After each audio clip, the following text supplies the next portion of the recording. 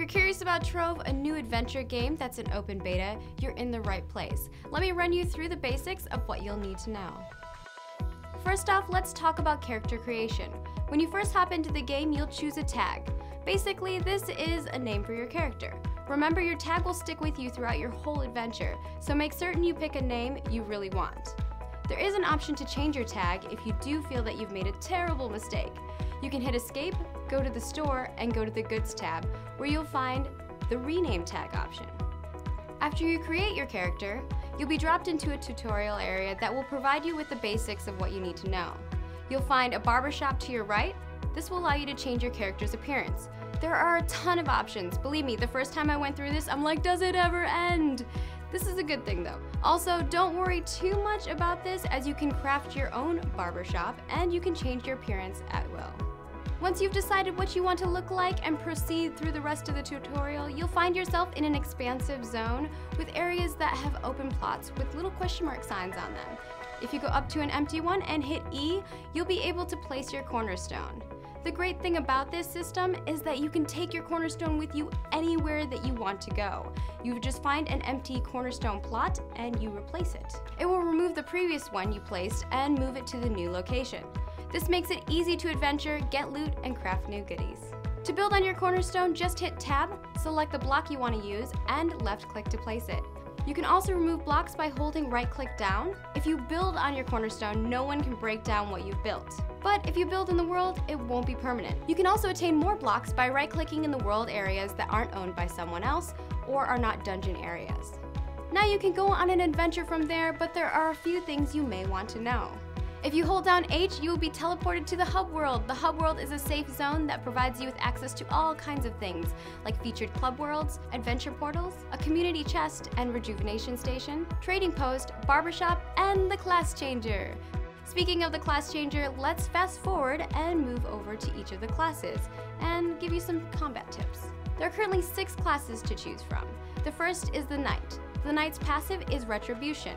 Upon taking damage charges, the Knight's next attack will have added power.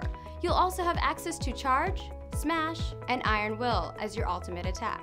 The Gunslinger's passive is Lucky Shot. Randomly, when dealing damage, this fully charges the gunslinger's next charge shot. You also have access to Blast Jump, Charge Shot, and Run and Gun as your ultimate attack. The Fae Trickster's passive is Ego Blast. If the Trickster hasn't taken damage recently, it'll charge your basic attacks. You'll also have access to Glitter Bomb, Blink, and Fairy Dame as your ultimate attack. The Dracolyte's passive is Firewalking. This allows you to run through lava without being harmed by that much.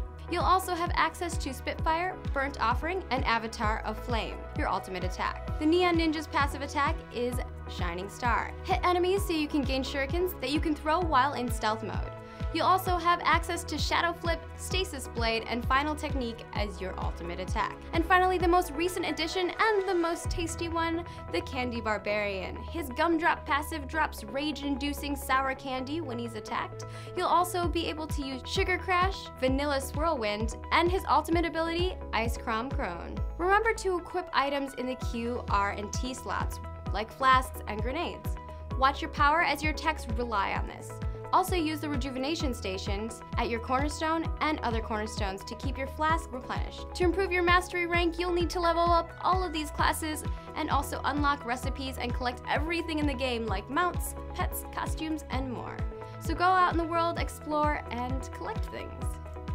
The next thing I want to go over is crafting. There are all kinds of things you can craft in Trove, and I could probably make a video just covering this topic alone. But to go over the gist of it all, there's a deconstructor that will allow you to break down items. You can also find ingredients out in the world. You'll utilize these ingredients to create new blocks, items for your house, and items for your character.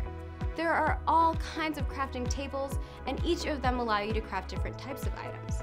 For instance, a workbench will allow you to create items like tables and robotic sparring partners and more. The main thing I recommend is going out and adventuring because you'll need a lot of ingredients to make items you want.